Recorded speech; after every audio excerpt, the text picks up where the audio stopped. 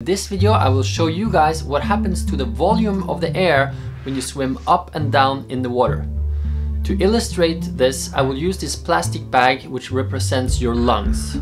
So you can see at the surface I'm inflating the plastic bag so it's completely full of air and then I'm sealing it at the bottom. Now when I swim down to the bottom of the pool you can see that the air is getting compressed and the plastic bag gets soft again.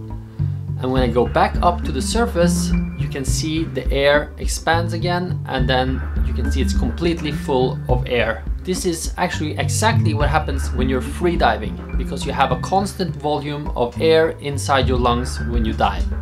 That is because you breathe in at the surface and then you hold your breath while you swim down and come back up to the surface. So it's the same amount of air throughout the whole dive.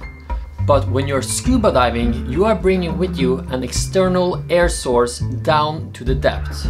That means if you breathe in at 10 meters and then hold your breath all the way up to the surface, that air that was 5 liters at the bottom will now be 10 liters of volume at the surface. But since your lungs can only expand so much, what will happen is you will rupture your lung. Your lungs won't explode like you saw in this first picture, uh, but it, they will rupture and it, the air would start leaking into your uh, chest outside of your lungs. You can see this with this plastic bag made for making ice cubes. You can see that I start at the bottom and when I get about halfway up to the surface it has ruptured because of the expanding air. And you see the air leaking out. You can die from this. So it's really important that you breathe out through the whole dive when you're swimming up. If you're staying on the same level in the water, then it's not a problem because you can stay at 10 meters, you can take a deep breath with a scuba diving tank and then hold your breath for a minute. It's not dangerous in that way. Same if you're swimming down, it's not recommended, but it won't cause your lungs to rupture.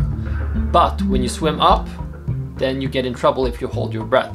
I hope you learned something from this video and uh, if you are planning to go scuba diving or diving uh, in any way, please uh, take a certification or a course to make sure that it's 100% safe what you're doing.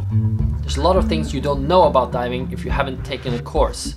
So if you like this video, just subscribe to this account, hit the little bell and you will get a notification next time we upload a video about diving or scuba diving, free diving, swimming or whatever. Have a nice day!